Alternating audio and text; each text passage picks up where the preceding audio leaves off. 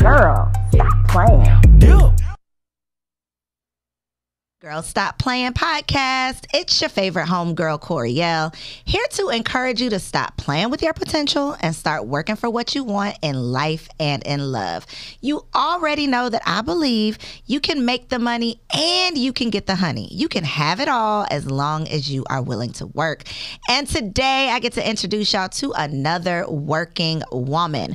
But before we get into today's show, I gotta make sure y'all remember that you gotta like this episode comment below and let us know how much you enjoyed the conversation and subscribe to the channel so that you don't miss out on any of the amazing guests that are going to be gracing the podcast.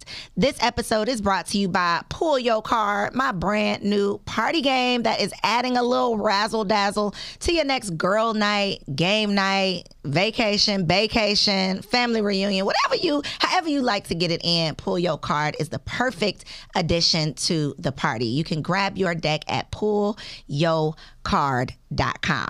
Today, you get to meet Mrs. Ooh, Miss. She miss y'all. Miss, I'm sorry. I'm sorry, Tonya. Miss Tonya Rapley. you just tore me all up. They're gonna edit this, y'all. Let me say that again.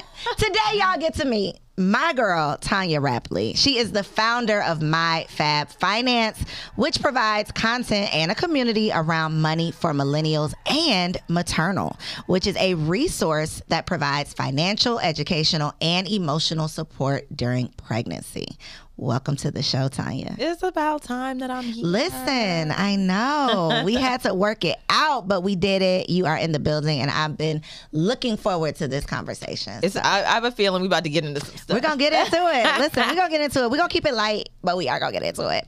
Um, so I want to talk first about your evolution as a CEO because you've done a lot of things since I've known you. You know, from my, my Fab Finance to you know the the multiple businesses that you have purchased, the businesses that you have started. And I want to just talk about how your passions have changed as you've pursued different entrepreneurial endeavors. Yeah, like serial entrepreneur. For real, and I feel real. like most entrepreneurs are serial entrepreneurs at heart. Mm-hmm. Um, because there were businesses before my Fab Finance that didn't work. That we Like, don't know just, about. It was just like, okay, this isn't making sense. This Mhm. doesn't work. Um, and what's funny is I feel like now it's coming full circle because I'm kind of returning to where I started. So I went to school for public administration, public Okay. policy, and in college. What does that mean exactly? So for me, it meant less math.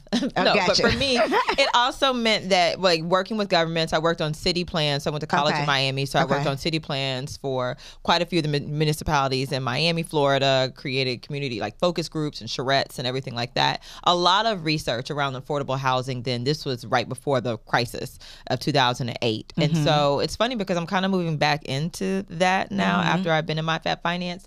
But there's so many things. I think most people know me from my Fab Finance, but I also um, I tried my hand at being a CFO for a little while. That wasn't my Not thing. your thing. For for a, a startup, and we just really looked at our minimum viable product and was like, this does That's not. not this ain't gonna catch like we hope it would, Mm-hmm. and so we decided to move away from that. But then also, um, I started a company, Cannaclusive, which is what, what co-founded Cannaclusive, which is seeking to drive diversity and inclusion in the cannabis space, and that is Mm-hmm. Yes. still operating. I stepped back because it was starting to mess with my finance clients. Like they were like, it's They still were schedule we- one. a little weary. Oh yeah, they're like it's still schedule one. You can't be a spokesperson out here running around Yeah. selling cannabis. I can't believe this is still life. It's crazy, you know. It's crazy, but hey, look, that's the benefit of having two co-founders because I was like, listen, we're not about to mess the money up. Mm-hmm, Right. This is still a startup. This is not bringing enough money to cover all of our bills. Uh, but the beautiful thing about that is they've really been holding down the fort. Mary uh, and Charlize and the team behind them, and we're the only Black women in New York City with our cultivation license. Well, New York State. Got you. Cannaclusive, and so like that's the beauty of like What's a starting things- cultivation license? cultivate like, you can grow gr- you out here you growing. legally you can legally grow and sell Wow, okay. New York um and so we're it's part of like a larger license Uh-huh. but that's is you know that's the beauty of having multiple interests and kind of fielding them and starting things like you know what mm-mm, And you don't have to be the face of everything. no which I don't want to be the face Right. of like That's hard. It is hard. I'm burnt Listen. like I, I just posted um that on Instagram last night. Um, someone else was saying like she's burnt out. I've been a full time content creator for eight years. That is like Well, d- January will make eight Yeah. years, 7 years so far. Your girl is tired. I'm you know, every time you turn around, the algorithm's changing and all these other things. I was like, you know what, Instagram. Get out of here. I just literally, I just did Instagram Live like earlier today. I read an article yesterday. I think it was on Forbes, but the whole article was about the fact that black women are leaving social media. Yeah. And it's like, we, That's the we I- are tired. We are tired with a T. Tired. Yeah, it's a you know? lot. And when you look at like the gifts and everything, a lot of them are based around like black women, Mm-hmm, black characters, and everything else. I feel like we're low key. Getting moving this thing. It's We're us. moving it. Yes. We're definitely But we moving ain't it. monetizing it like we should. Yes, you yeah. remember Clubhouse was around, and like that's what everybody says. mm-hmm, Like all of us are driving Clubhouse's platform. We need our own platform, and people Yes. to put one together. Didn't work, but Yeah. Clubhouse kind of Yeah. just came and went. fizzled. So- It's a little, a little fizzled out a little bit. Yeah. Um. So with, I do want to start with my Fab Finance. Yeah. Just a little bit. My baby. Because we are. I don't know if we're in a recession, getting into one. I don't know what the current status is. Okay. Yeah. But that is a scare for a lot of people who don't have diverse income streams and who aren't necessarily in control and driving, you know, their own destiny. Which we're gonna talk about designing your destiny as well. Um, but what is your advice for like what people should be doing right now in preparation of or in survival of a recession? Yeah, I mean, honestly, I think even if you have multiple revenue streams, it's still something like, ooh, ooh what, what What's going happens on? if like what happens if a few of these dry up? Mm-hmm. Because we all become accustomed to a certain quality of life and a standard. So I mean, even me, me when I was thinking about my pivot, I was like. Okay, how is this going to affect the companies that I depend on, and how should I move accordingly based on that? Mm-hmm. Are we in a recession? You know, they keep pushing back what recession means, what recession means, what recession. But we know we have inflation. Some stuff is going like, on, What yeah. we do know is things are expensive Yes. and the, like our quality of life is a lot of us have become accustomed to a certain quality of life and that quality of life is costing us more so irregardless of if we enter a recession or not you still need to be preparing for whatever Mm-hmm. like the best thing to do is prepare for the worst but the worst doesn't occur and you're still Mm-hmm, And prepared you're still prepared, yeah. yes because now you're like ooh now i get to breathe easier yeah. than if it actually would have occurred and I think it's important to note that there are going to be people who go through personal recessions and there are going to be people who aren't impacted by this recession. And it all is dependent on planning. Like while you can get ahead of it, get ahead of it. They've been Mm-hmm. talking about this thing since January of 2022. If it happens in March of 2023, you can't say they have didn't been talking it. about this. Yeah. I I just feel like at this point I can't really have an interview without somebody asking that question. Because people, what do we do? Taya, what do we do? How I do know we don't want to go into the Great Depression. Right. Like we don't. Lord knows, like Yeah. you know, we don't want things to get that hard, and I don't think they will because we're just a completely different society. Mm-hmm. Like it's it's like very digital, remote work is possible. Uh, I just think that it's very different now, Mm-hmm. but you can still experience a personal recession. Yes. So, do you, in terms of like investments, and I know, you know, there's obviously not a one size fits all thing, but I know you're into real estate. We've talked, you know, offline about getting into trading and all of the things. What would be your best advice, even though we know everybody's situation is different, but what is something that you feel confident in that people could at least start exploring or looking into in terms of like investment opportunities? investment opportunities um that's interesting because like you said it's based on everybody else's. I think that when we think about investing it's like making money right? Like mm-hmm. i think investing in yourself honestly and like honestly the truth is investing in yourself because investing in yourself will give you more capital to invest in other things without the fear and concern or the need for it to pay off like there's a reason they have accredited investing as a standard for people to make larger investments because they're like if you lose it all we don't want you to Blame like, us. Don't be looking over we here. don't want you to lose it if you Yeah, lose it all. right. Mm-hmm. Like, so we need to make sure you can afford to lose money. And I think the same thing is like investing in yourself, investing in your skill sets, investing in your knowledge, and whatever that looks like, so that you can bring in more money. Mm-hmm.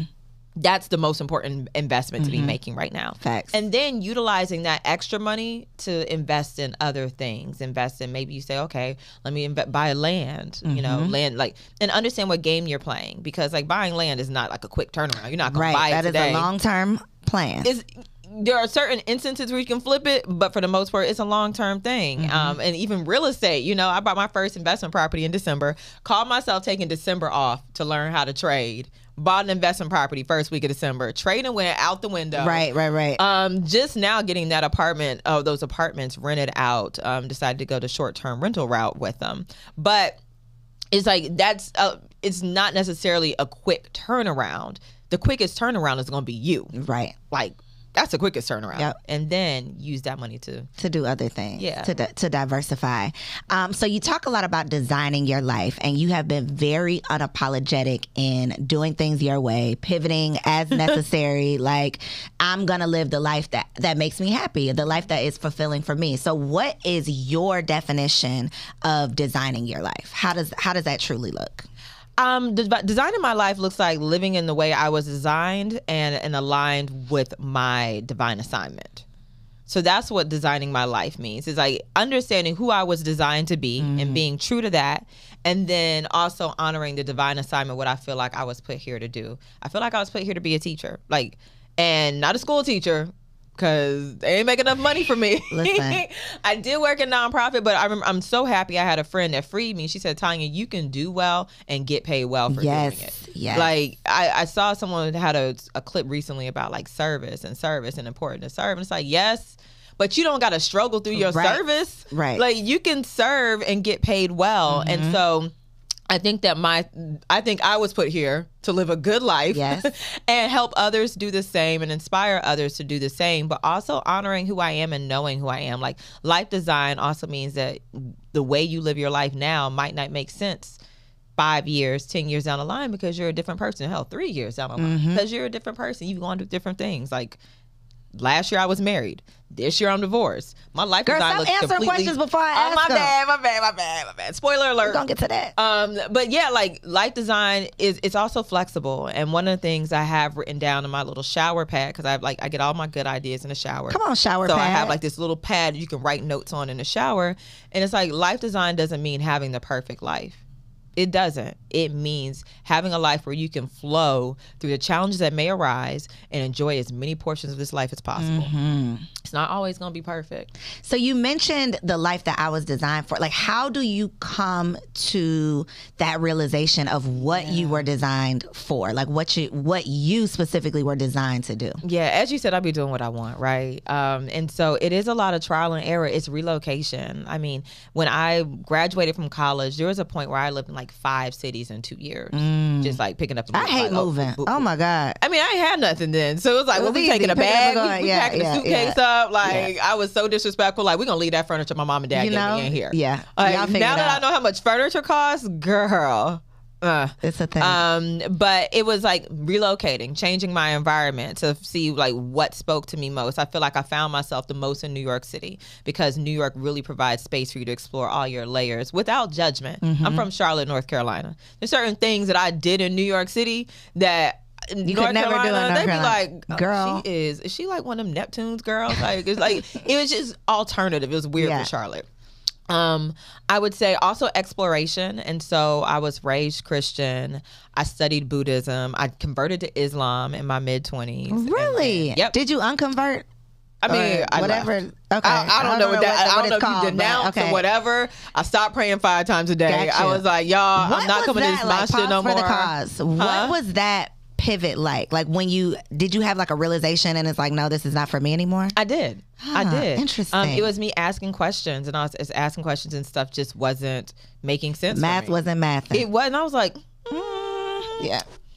I don't. Now, this might work for some people, Yeah. and that's where I've come to the realization is that I feel like God finds people the best way that He can enter their lives. And Mm-hmm. so, so for some people, Islam makes sense. For some people, Judaism makes sense. For Mm-hmm. some people, Christianity makes sense. So for some people, ag- ag- being agnostics makes sense. And so for me, it's like, okay, well, that's cool for y'all. Yeah. I'm done. Yeah, Like yeah. I, I've seen what this is about. Me and God, like, thank you. I talk to God five times a day for the past year and a half. We are We good. me and God like this. And um I feel like I learned a lot about myself in that process and learned a lot about myself from walking away from that process because I think that there's a lot of fear um, involved with shifting your religion or going against what's been instilled Yes. in you. And I really had to trust my intuition, trust God, and trust myself. Mm-hmm. And so I think I learned a lot about myself in that process. Um, and just being curious, just being curious, therapy Mm-hmm. Like, come um, on, therapy. Therapy. I remember um, when I had my son, I had a lot of anxiety. That I was like, girl, you're not even an anxious person. We don't even listen. We talk about postpartum depression, but we don't ever mention postpartum anxiety. Girl, That everything got a, thing. label on it. That a, a. Mm-hmm. a choke hazard, a, you know, a SIDS warning. And it's like, this is your responsibility. If something happens, it is on You. you. Like yes. this is your person, Yes, and yes, you love them. yes. Like you know, my son. I was just like, I, my, I remember my mom telling me that when she had me, she's like, I never felt love like that, and like it's true. Becoming a parent, you're just like, oh my gosh, Mm-hmm, This I didn't mine. know. Yeah. wow, like I love you beyond. Yeah. And so I had all these roles that I was playing. I was CEO, I was mom, I was wife, and my therapist was like, "You've never renegotiated." Your relationships in these in these role changes, Mm-hmm. and you haven't given yourself time to deal with these different roles. You're just rolling with the punches instead of being like, okay, who am I in this? Mm-hmm. Pause. Space? Yeah. Yeah, so therapy was really helpful in that regard too. Listen, okay, so let's talk about maternal because I becoming a mother, you know, you I feel like people be judging me when I say this, but I can only be honest, okay?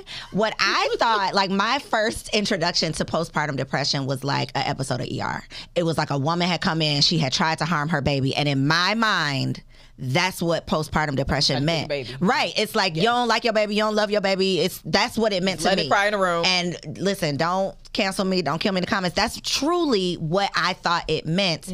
But then you become a mother, and I'm a part of all of these Facebook groups because I don't know what the hell I'm doing. I'm just trying to figure it out. So I'm getting a part of these communities to try to get with other people. And the things that they were going through and talking about, I could not necessarily identify with. Mm-hmm. But then I had my baby. And I still don't necessarily feel like I, you know, I never wanted to harm my child. I never wanted to harm myself. But I feel like there was definitely like a a loss of like my old life. You know, like a depression around Yes. Losing who I was and the freedom. I mean, especially as entrepreneurs, The with the freedom. freedom that we are blessed with is like irreplaceable. So losing that, and then it's like, yo, this baby is he's still here. You know, like you wake up and he's still here. Or they wake So, you up. It's yeah, like, it's like, damn, I'm a mom again. You know, like again. I can't even sleep how I want to. I still still can't sleep how I want to. Okay, still can't sleep how I want to. But that to me is a conversation that we don't have. You don't know these things until you're in it. You can't really prepare for it. And like I just said, the anxiety thing. You know, like making sure he's still breathing. That's a whole thing that it's like never goes away. I don't Still think it's do. right. No, still I do. still I, going- don't, I don't think it's I don't think it's ever going to go away. And so I'm assuming that part of that was like some of your motivation behind creating, you know, the movement, but tell me Yeah. like what was your what was your motivation behind it? maternal was a lot about my life design Mm-hmm. um, and even then i was designing my life and i didn't really know that i was doing it back then but i worked in nonprofit before becoming a full-time entrepreneur in the Mm-hmm. finance space and so we talked a lot about maternal mortality like this was before it was a buzzword this is like 2010 2011 we're talking about maternal mortality so i was terrified i Mm-hmm. Was like yo women are really dying Really having dying out babies here. in like In America. post 2000s And Georgia's like number 1 on the list. yeah, and so I had, I mean, I had anxiety about that, and so when I got pregnant, I had an, um, I had a OBGYN, I had a midwife, and I also had a birthing class instructor. So I took Bradley birthing method, the Bradley birthing method, and then I had my my midwife who I was paying for out of pocket, and then OBGYN who the my insurance was paying. Insurance, yeah. And I realized, and I had an amazing like pregnancy, I had an amazing delivery. It was just beautiful. And I realized that I had a privileged birthing experience because I had the financial resources to do so. Mm-hmm. Yep. And I didn't want women not to have a beautiful and therapeutic birthing experience because they couldn't money. afford it. Yeah. Right. So that's why maternal was created. Gotcha. But then also we support pregnancy and beyond. So it's not just like pregnancy. baby, it's a beyond. It's, po- it, it's really the postpartum. Yes. Like it really is the like, oh my gosh, am I gonna be able to wash my hair and eat in between trying to get Can I shower? Because they tell you sleep while the baby sleeps, but it's like, Yeah, what right. I I'm worried do? about the baby staying alive while he's sleeping. I need to watch him. And like, what do I? Because I now I gotta catch up. Yeah. Like now I gotta Yeah. like wash my ass while the baby is sleeping. And then he might wake up in the middle of so it's a thing. it, yeah. it- so I want women to have that support because I think a lot of that also drives postpartum depression. For and sure. like I I remember and I had all these resources. My midwife was amazing after I had my son. You had a hospital birth, but she came to the house like every day. to check on me and like made sure I ate and everything Mm-hmm. else. And my um like Karis's father was also amazing. I was like, look, we got to eat. And so he got he worked, found a chef and was having meal prep like Mm-hmm. meals delivered. We ate so good in them postpartum days, but that really helped. I still remember sitting down in my room, like trying to find something to wear. And I was like, damn, I can't wear none of this. Mm-hmm. my titties is leaking. I can't wear this. I can't wear this. I gotta be able to like easy access and like breastfeed him and everything. And it hit, and I was like, wow, life is different. like, girl, you can't even leave the house without putting your little nipple pad in Yep. because Yep. otherwise You you're gonna, gonna be have mad little, by the end have a little listen, ring yep. like right there on your shirt You're gonna be embarrassed because the letdown done happened and um it was that and then i wanted to get my nails done i was like i don't even have time to go get a manicure and a pedicure and i mean that could sound privileged or whatever No, but like that's sound- that's real time. life, yeah. and it was like And I'm not I- taking my baby to the nail shop. That's no, one place he is not I'm going. not taking a newborn like Yes. here's i mean i ain't i'm not judging anybody that has yeah, no shade. no, I'm just not, you gotta I- do what you gotta do. But Kara still ain't stepped foot in the nail Yeah, shop. no. Like we gonna do it while We're he's at doing school. it, But also, I'm an entrepreneur. That comes down to life design, Right. And understanding You- like we have the I freedom want to make those have choices. Space for myself, Yeah. outside of being a parent and for me being an entrepreneur allows me to have that space Mm-hmm, for myself and allows me to afford to hire people to give me that space for Yep. myself so yeah that's maternal we i mean we provide we also cover um if someone wants to become a doula or a birth worker, Mm-hmm, we will cover their training so that they can become, so they can serve more Black women. Yeah. Um, we we paid for laundry from when we paid for housekeepers. I love um, it. Babysitters, diapers. Like, what do you need to experience motherhood on your own terms right now? There's so many things again that you like don't know about until it's like you're okay. At this point, you're pregnant. There's no turning back. like the baby is coming. You have to figure these things out. It's too late for you to say, okay, wait a minute, I'm not ready for that. Like you have to just. It's like on the job training. You got to figure Oh it out. God. And to your point, I feel like I had a very privileged pregnancy um my birth experience was not i've never even talked about it y'all and i still i still got ptsd i still can't really talk about it i ain't gonna lie to you but what i had prepared because i'm i'm preparing for everything Yes, i'm you're a prepper. classes Listen. i'm doing all of the things like i You had your overnight. you had your night nurse. Listen, like, well, I was like, when I the baby had- coming? When I had my night nurse. I had the listen. I had all of it. I paid for the doula. I paid out of pocket. My husband works for Kaiser. Like we, when I say my baby would have cost like five hundred bucks, like nothing. Mm-hmm. We paid out of pocket for a home birth. You know, for a midwife, for the doula, for the all of the things, and then nothing that I prepared for worked out the way that I anticipated. Mm-hmm. But thank God I had, you know, the luxury of being able to, you know, try to plan my process the best that I could. But there are so many women who can't advocate for themselves. No. They show up at the hospital clueless, get taken advantage of, get mistreated, get uh, borderline abused, you know, in these they're hospitals and and they're scared. And it's a scary thing. Like Oh, there's so many reasons to actually be scared. And so, you know, I commend you for it cuz it ain't I don't know. There's not a lot of money in you know creating resources for Oh, it's a labor of love. Right. Ain't no money over there. Right. This is a passion project. Ain't no money over because you realize like it's needed, it's necessary. And you know, I just had my midwife um, on an episode where we talked about like how home birth. Home birthing is like shunned. It's like looked down Oh upon. my That's gosh. the whole thing. I remember when I told my mom that I had hired a midwife. My mom was like, "So you gonna have my grandbaby, grandbaby in the house like some?" I was like, like "Girl, a heathen, like some savage. First It's of like, all, like he might be safer in the house than the hospital, and so. I might be safer there too. Yeah. I was like, but you know, I'm gonna do my research, but it is. That's Now, granted, thing. I am not a home birther. I, like I, I was not either. I not get by choice, people think not. because like I eat I eat gluten free and everything else that I'm like the home birth. No, keep that in the hospital. Like keep that trauma. I don't care how good your birthing experience is. There's some trauma associated with There them. is, when them yeah. contractions come through and you just remember like your body's just getting assaulted. You just like Yeah, when is yeah, it over? Like I didn't want that in my house. I don't want to clean. I don't. No, You it's know, messy. Birth I is messy. Uh, wholeheartedly, you know, that God has a plan. And, you know, my son had to go to the NICU for two days. And so hindsight, you know, being 2020, all I can think about is what if something went wrong at my house? You know, like what if he needed extra care and I'm and I'm at the house because I'm so stubborn because I just you know have to do things my way. So it really came down to me being a mother and thinking about my child and knowing that it doesn't matter what you want, you have to do what's best. And so that's even a tough thing that if you don't have a community, if you don't have support, if people are judging you and your choices, Yeah. that's tough because you really truly are just trying to do, Trying to do your best. best. You're trying to survive. Tr- really like you're just trying to survive Yeah. because if you look at statistics like that shit is scary it is definitely scary if you start looking into black women specifically and our birthing experience. And that's why I say, like, when I was pregnant, though, I was like, don't talk to me about your traumatic birthing Please, experience. keep Like, that to yourself. Okay, girl. Oop, I don't want to hear that. Like, like, girl, you gonna die twice. Um, the- okay, so we not That's not fielding. helpful. We're not fielding those stories right now. I only want to hear about good, Happy. positive Tell me the happy outcomes. Like, tell me how the baby just slid out. Yes. Like you didn't even know It you was was in labor. quick. Yeah, girl, like, I didn't even so know. I was like, girl, I didn't know I was pregnant, and I just had yes. a baby. I just showed up at the hospital. Like- the baby was there. Like- so first of all, I'm so jealous of those too. women who are like, "Yeah, I had the baby on the way to the hospital. He just came so fat."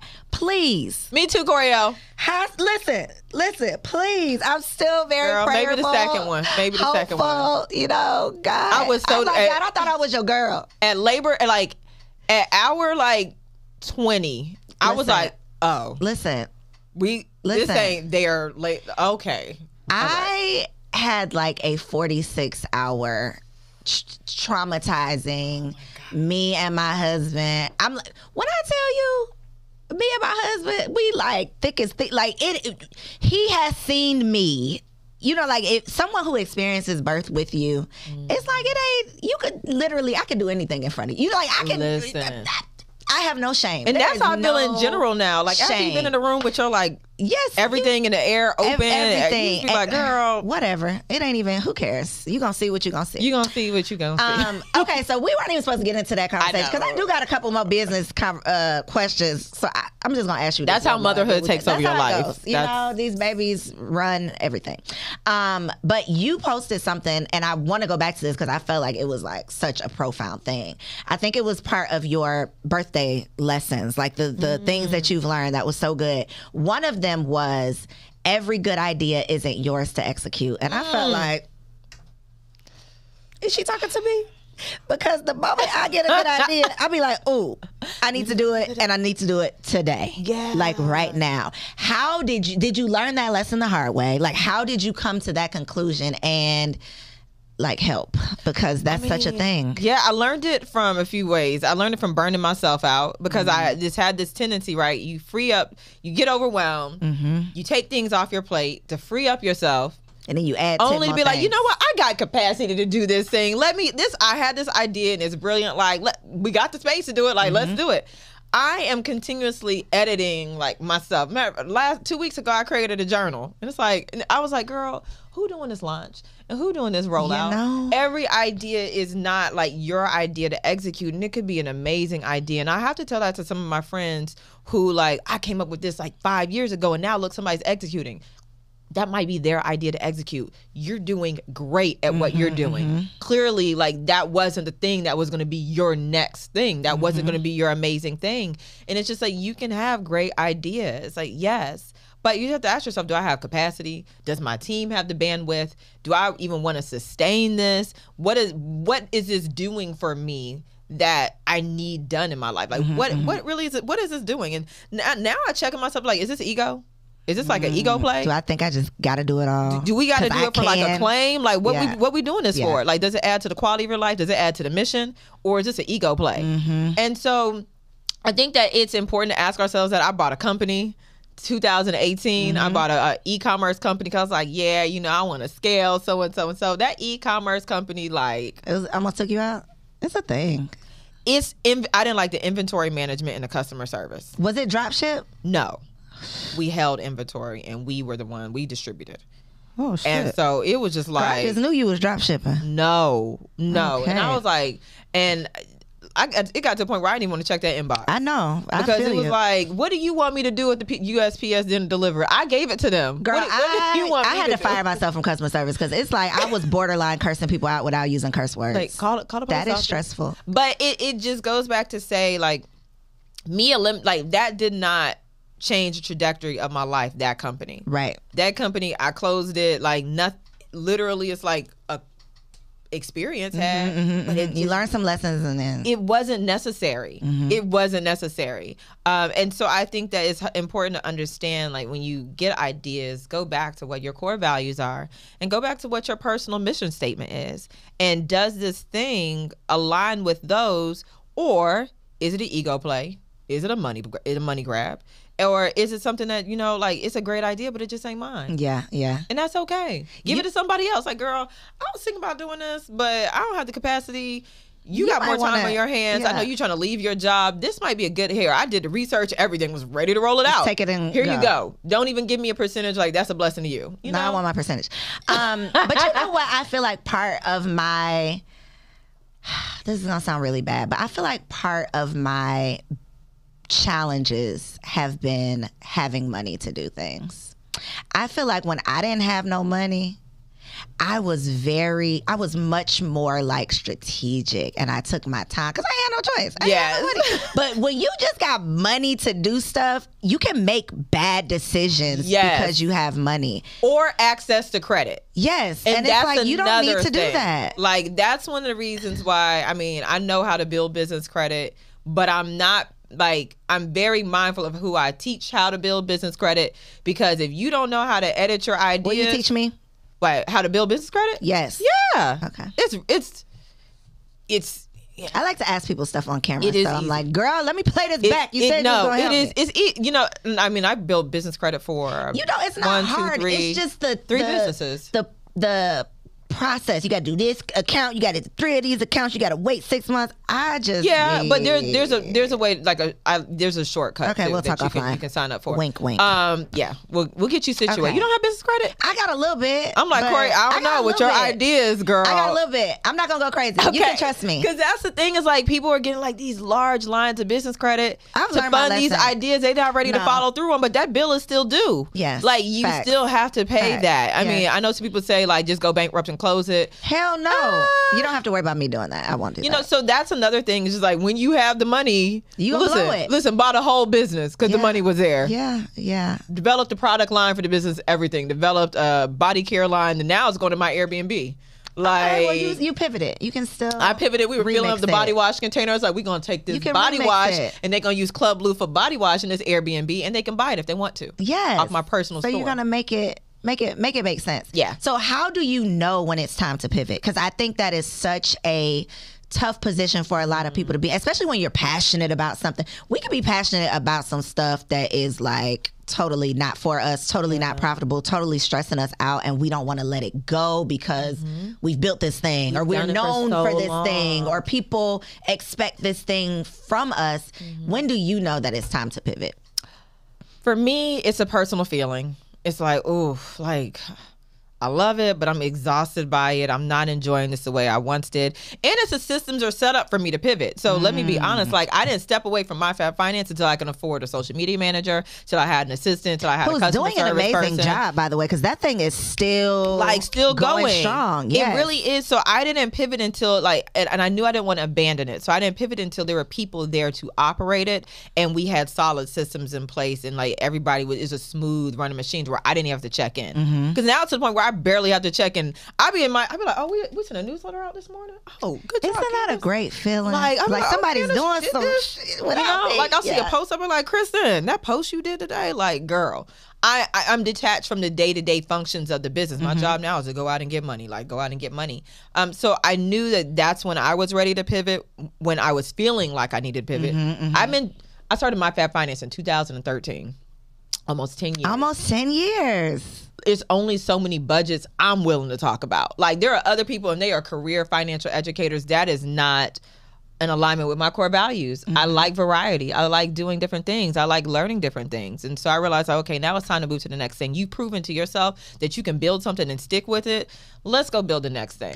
And it's done. Like it's repaid you. It- Ten- oh. It's done. So I It mean, changed my life. You do TV Yeah. frequently because I be trying to be the Latoya. She be like, "No, I'm taping TV shows," and then be all the And time. She always taping. TV shows, doing the things. So, so that just goes to show like the investment. You're getting a return on your investment. it changed my life. It did. Mm-hmm. And I, you know, one of the things that also let me know there's time to pivot.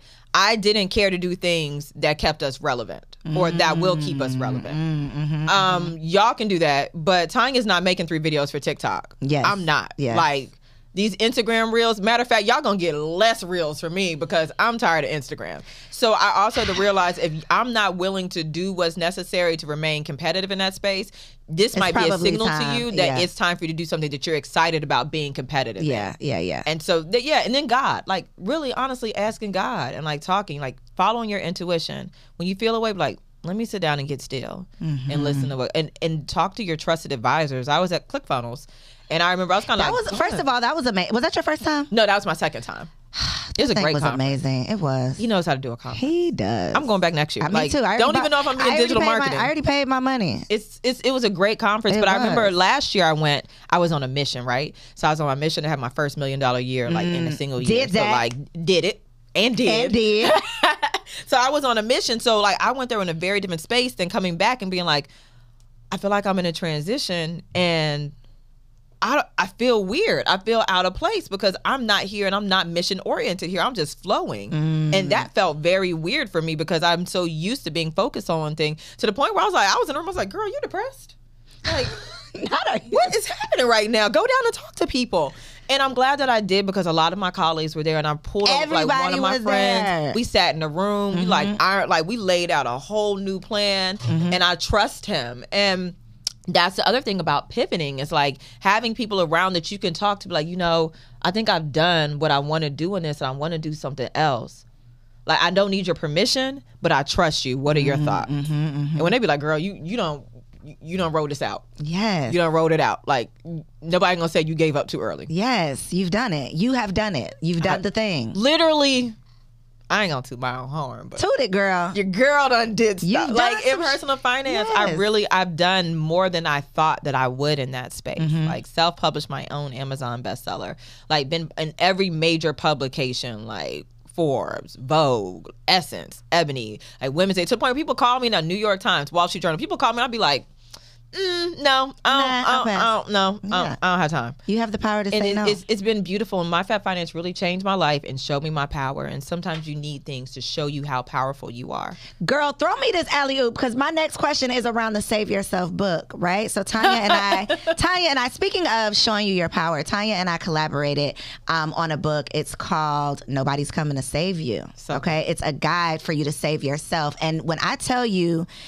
I had like a vision for what I wanted the book to do, but as I'm reading through the chapters, I'm like, this book is actually going to save someone. Oh. It's actually going to give someone the power and the courage and the confidence to to identify. There's so many different stories from domestic abuse to like the corporate woman that had it all, thought she had it all, and was like, no, this still ain't it. To homeless, like so many powerful stories of how women like pick themselves up mm-hmm. and decided that you know they're not waiting on somebody to come save them. So what would you say is your biggest hope that people will get from your chapter specifically? Mm. i would say that it's okay to reinvent yourself if that means saving yourself. Mm. Like if if you have to step away from everything that you've known or everything that everybody knows you for in order to save yourself and maintain your sanity it's okay to do that they'll understand later Yes, they'll see it. They don't. They don't. They now. don't got to know and understand why you're doing it. And I know I did say like you know asking my trusted people about transitioning and the pivot and everything. But there's a difference between pivoting and saving yourself. And you gotta, you gotta do what like you gotta do what you're being told in that moment. Yes. And that yeah, that book I was reading through the chapter. You know how you like. You write something and you step away and like you removed and move on to other things. And I was reading, I was like, dang, Dang, is that's good. Yeah. good. Yeah, I was yeah. like, oh, Yeah, it is. I mean, it really is. And I'm not just saying that. Like, I'm going to put the link in the show description. I'm a YouTuber now, so I got to get used to saying that. I'll put the link in the show description below, but get a copy because it's thebomb.com. Um, okay, so we got to talk about dating after divorce. yeah. Cause Tonya out here in these streets, y'all. Tonya is out here in these streets doing the damn thing. But I want to talk about it not just because I want to get all up in your business, even though we do like to get all up in people's business over here. Oh, girl, stop playing. But I think that the way that you are unapologetic about you're not stepping into dating in a depressive state. You're not stepping into not even dating, but stepping into this new season in um you're confident. You Yeah. are looking forward to it. You're excited about it. So, what has your experience been, and what advice can you offer to someone who's not necessarily getting, you know, out of a divorce or leaving a relationship, but just advice for a single woman who's might be looking for something? Like, what what is your experience, and what lesson can you share? I do think that my experience is different than a single woman. Okay. Because like for me, especially returning to the dating scene, like I've been married, I had a baby, like y'all I'm not dating for marriage at this point. Like I Mm-hmm. That is different. You're right. There there is a certain level of um or a certain lack of commitment that I'm in like imminent. And a like, confidence that you have when you're not looking for someone to complete you. Right. I don't, I don't want to have another baby. Yeah. Like like I, Are you opposed to having another baby? I just don't see how it would happen. I'm not opposed to it, but I also feel like I was with Karis's father for 12 years total. And like we ain't work out and I'm like, I don't have 12 years to get Gotcha, to know gotcha, somebody gotcha. else. Okay. Man, I don't honestly have like two or three years to get to know somebody else. I just don't see it happening. The way I look at it is like, you know, I, his father will have a child to give Karis a sibling or like I Good would luck, date brother. somebody. Okay, gotcha. Like so, but I will say, like for me, I know I, I did. I worked really hard in my marriage. I know that I was a great wife. I know what I brought to the table. Even now, my ex husband will text me and be like, "Man, it's been so hard, like doing life without you. Like I really took it for granted. Like, bro, I know. I told you that. Good luck. I sir. told you before. Yeah. I, I told you that life is gonna be different without me. Um, and for me, it's just like that confidence in knowing what kind of woman I am.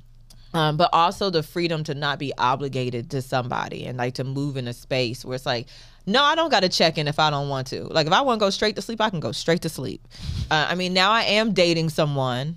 I am dating Oh, someone. someone. Okay, I'm sorry. She is not in these streets. I I'm not not anymore. I apologize. Not anymore. Okay. I told I remember talking with my homeboys and I was like, dang, somebody don't found me. He was like, uh, women like you don't stay in the market for long. They gonna snatch They you should- up. yeah. Like they Don't and, and I'm I'm dating somebody who I really enjoy. Like I really enjoy um, when I first met him. I was like, I feel like we're gonna have fun together because I do think that when you get into those final stages of your marriage, like before it's ending, very rarely and when it comes to divorce, are people like, man, we were having the time of our lives Right, for our right, divorce? right. Like, no, you don't really like each other like that. Like things are tense. You like, do I want to invite them? Do I want to spend like a, Mm-hmm, around them like that? When you get to a divorce point, and I miss enjoying being around somebody. Yeah. Like I miss enjoying being around male energy and just like this is just fun and refreshing. Mm-hmm. So that's what I was really looking forward to when I got it. When we was like, okay, we're not going to do this.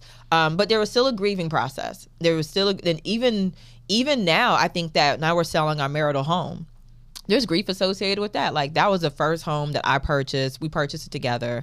Like we moved to Georgia in that house. Like that, I was sitting in the backyard literally yesterday because now the home is under contract and they had their. Congratulations. Thank you, thank you. And it was bittersweet. It Mm-hmm. was like this is another chapter closing. And like I was that kid who cried watching Fievel Goes West. So for me, it's like I'm emotional about this chapter closing and it brought up, even though I went through therapy and worked through my grief and like the first the first months after the divorce, like I would take Karis to my parents' house and like they would just be he would be with his grandparents for like a week at a time. So like mommy, if she needed to wake up and cry to get it out and like shower and like sit there on the edge of the bed and cry, I had the space to do that. And so I thought I got it all out but things bring it back up. Like oh we're closing this chapter or mm-hmm. like, Like, it even, really is over. even Yeah. orientation. I remember taking my son to orientation for school and like seeing all these families and everything and i was like dang. Like i'm a single mom up in this joint. And like you know they're like is his dad coming? I don't know where the bro i don't know where bro at. Like he said he was on his way. We don't live together. I don't know.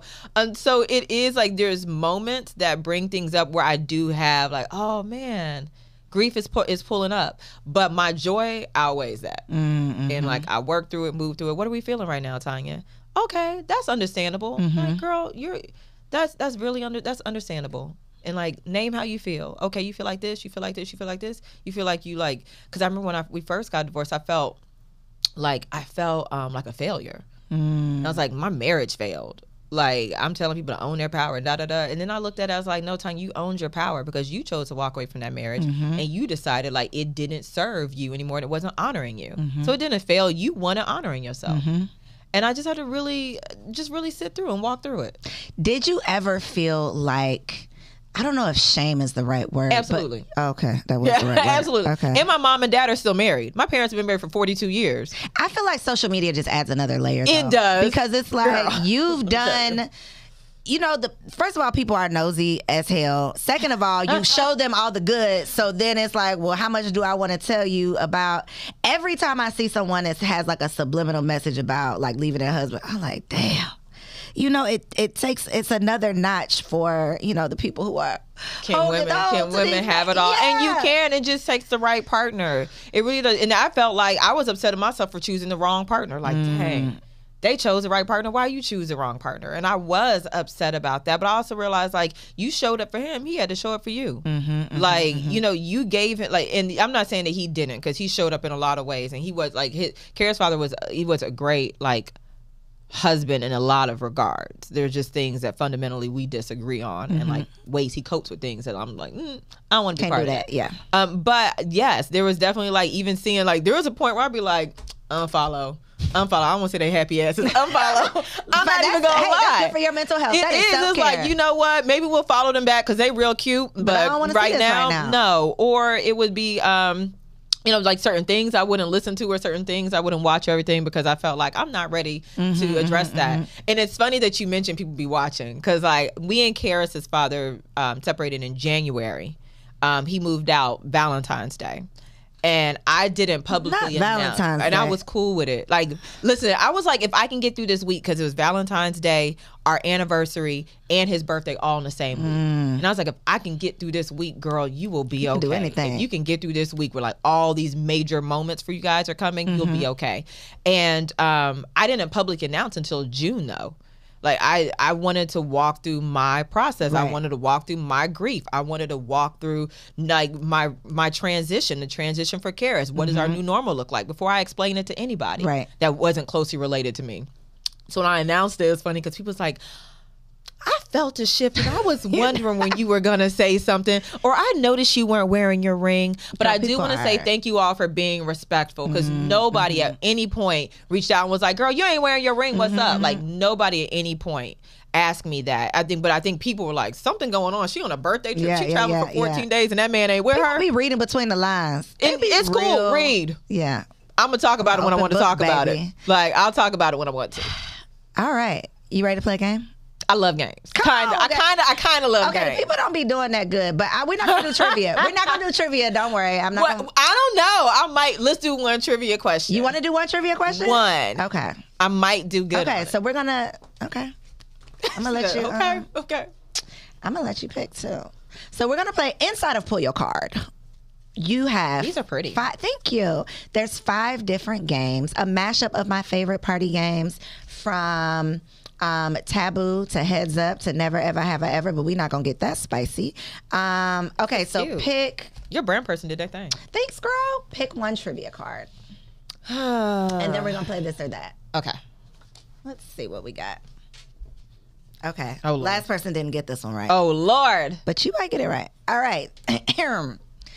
Where is Bruno Mars's condo?